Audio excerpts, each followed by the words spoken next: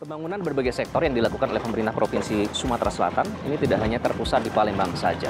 Contohnya, ada event Sriwijaya Ranau Grand Fondo ini yang sudah ditetapkan sebagai event kalender tahunan dan jumlah pesertanya meningkat setiap tahunnya. Event ini memberikan dampak positif bagi Kabupaten Ogan Komering Ulu Selatan pada khususnya dan Provinsi Sumatera Selatan pada umumnya. Selain itu, event ini dapat menjadi ajang pariwisata bagi potensi yang sudah ada dan dapat membangkitkan perekonomian masyarakat sekitar.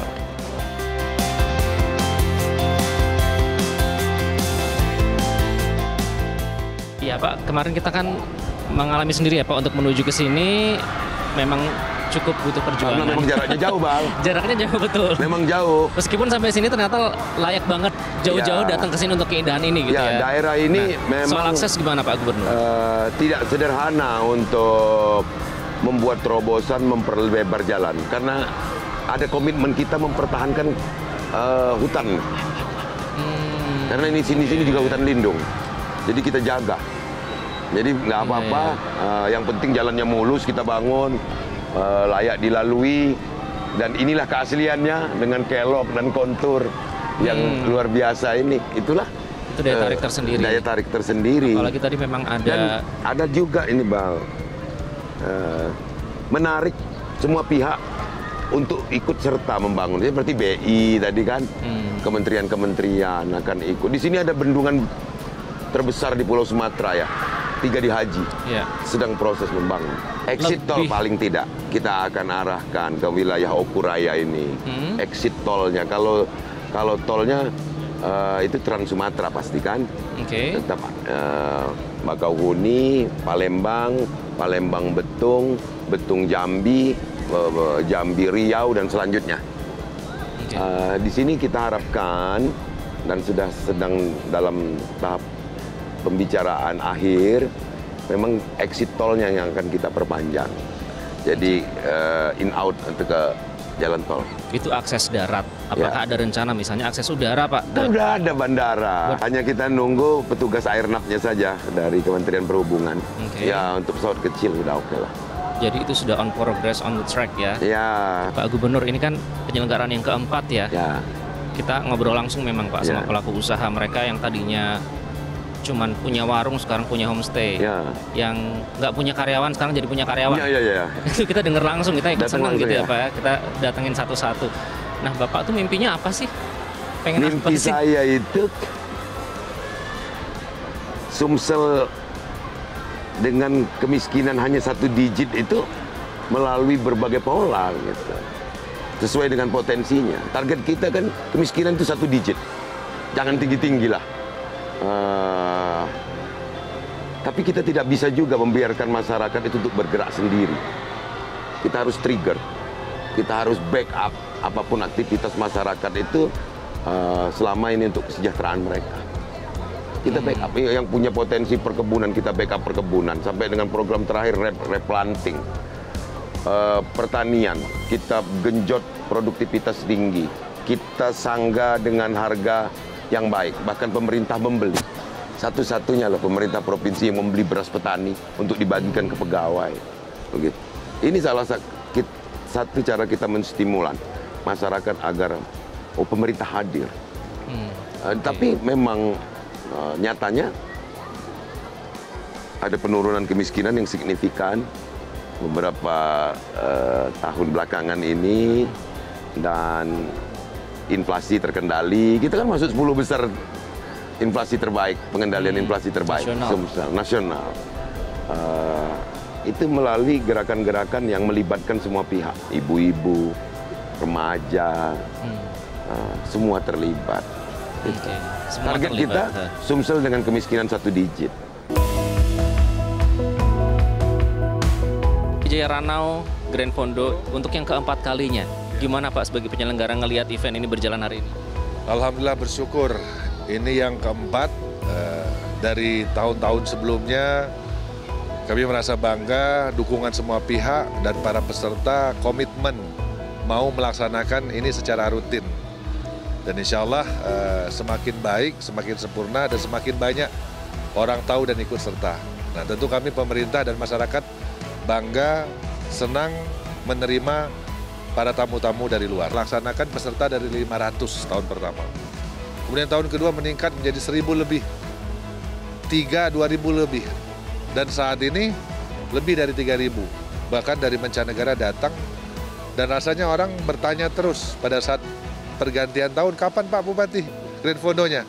Nah artinya tolak ukurnya bukan kami yang yang apa yang pengen tahu orang banyak dan dari luar bahkan masyarakat sendiri bertanya terus kita laksanakan terus artinya ada ada manfaat bagi masyarakat lokal nah itu tolak ukur berhasil secara lokal wisatawan senang datang kembali, nah tentu itu jadi tolak ukur dan kami komitmen laksanakan terus ini. Berbicara soal komitmen Pak itu udah pada nggak sabar istilahnya setiap tahun tuh menunggu pengen datang ke sini, otomatis pesertanya akan bertambah banyak dan butuh fasilitas pendukung yang juga harus ditambah Pak, yang sudah dilakukan oleh pihak berwenang atau pemerintah apa Pak? Nah ini dia, eh, setiap tahun kan kita lihat semakin meningkat peserta, tentu semakin meningkat kebutuhan fasilitasnya. Nah itu juga berjalan. Pemerintah provinsi mendukung pembangunan infrastruktur, kami juga pun demikian. Insya Allah dari kementerian juga, itulah dampak positifnya juga. Setiap tahun ada dana masuk membangun fasilitas infrastruktur. Artinya secara uh, direct pemerintah di semua level merespon uh, pembangunan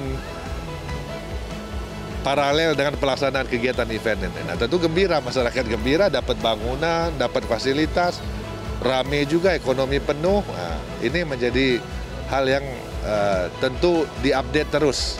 Karena tahun demi tahun kan pasti kebutuhannya berbeda dan uh, harapannya semakin memuaskan orang yang datang.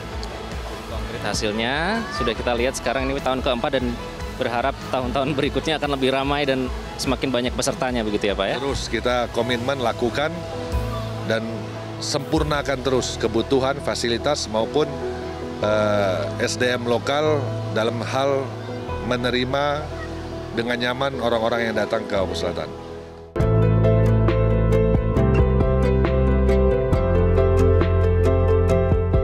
Jadi di Danau Ranau ini selain uh, Danau Ranau, kita masih banyak lagi objek-objek wisata yang bisa dikatakan uh, primadona. Di sini ada air terjun Subik, kemudian Pantai Bidadari, Pantai Pelangi, kemudian uh, pemandian air, air panas juga ada. Kemudian pendakian Gunung Seminung itu ada juga. Kemudian ada beberapa untuk menambah daya tarik wisata, ada water sport seperti arum jeram, kemudian jet ski, banana board, flying fish, dan masih banyak lagi kegiatan alat-alat uh, wisata yang terkait masalah sport tourism. Sriwijaya Ranau Grand Fondo 2022 ini bukanlah kompetisi sepeda biasa. Pasalnya sambil bersepeda, peserta dapat menikmati keelokan danau yang merupakan danau terbesar kedua di Pulau Sumatera setelah Danau Toba.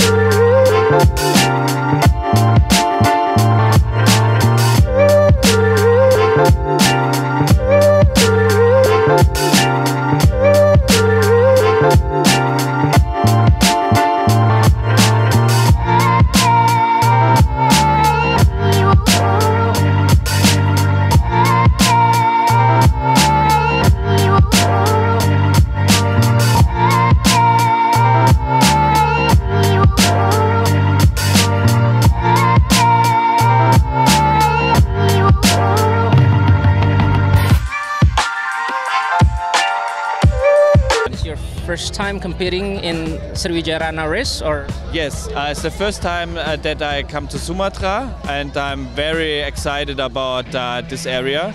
I see a lot of potential uh, for the future um, for tourism. I think uh, the people will love it um, because it's still natural and this is what the people all over the world looking for at the moment. Yeah, the scenery is fantastic. The people are super friendly. Um, it opens the heart when you see how happy the people are when they um, connected um, with people from overseas. It's very, very nice. Uh, we feel very warm um, welcome and uh, I will come back with my wife.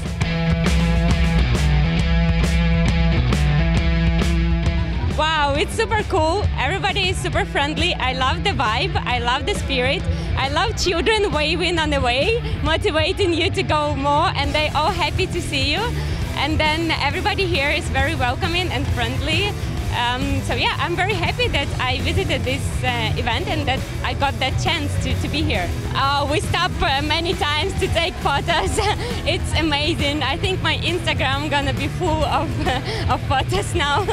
Kenapa kita balik lagi ke Ranau, balik lagi ke Ranau gitu kan setiap tahun itu? Karena memang gimana ya suasananya itu uh, syahdu lah, ngangenin gitu. Jadi emang pas gitu ini event tahunan di sini tuh jadi rasanya dirinduin gitu sama teman-teman persepeda gitu. Nah, selanjutnya kita akan melihat bagaimana event Sriwijaya Ranau Grand Fondo 2022 ini bisa menggerakkan sektor pariwisata dan juga ekonomi masyarakat sekitar.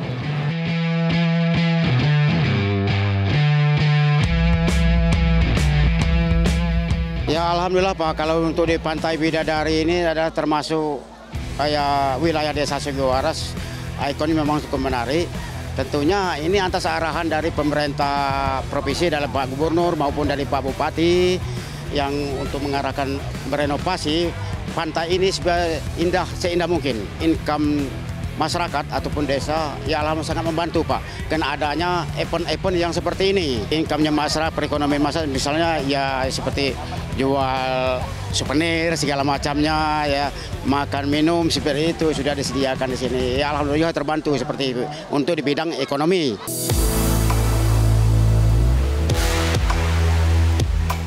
Sejak tiga hari sebelum hari uh, H, kami sudah di booking semua, sudah oleh-oleh sudah banyak yang pesan juga. Selama ini kami tidak mempunyai karyawan, sekarang kami adakan karyawan, sudah itu kami juga dari pendapatan Pak.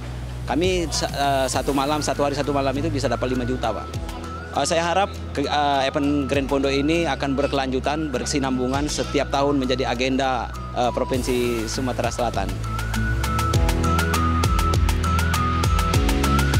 Dengan adanya event ini, hotel kita kalau biasa hari-hari biasa cuma ada satu dua. Kalau sekarang alhamdulillah full. Ada event-event lagi selain dari Grand Pondo.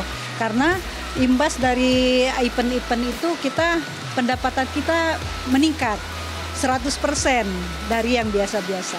Dari ada event ini uh, biasa kalau kita yang ada di hotel kalau hanya dua orang karena karena full tamunya banyak ya otomatis kita mempekerjakan orang-orang lebih dari lima orang karena uh, membantu uh, perekonomian masyarakat yang ada di Danau Ranau ini. Pemerintah Provinsi Sumatera Selatan berperan penuh dalam perkembangan pembangunan yang merata, mulai dari sektor wisata, ekonomi hingga akses yang terus dibenahi. Dengan berbagai destinasi wisata, tentunya tanpa melupakan peran masyarakat sebagai penggerak utama roda perekonomian.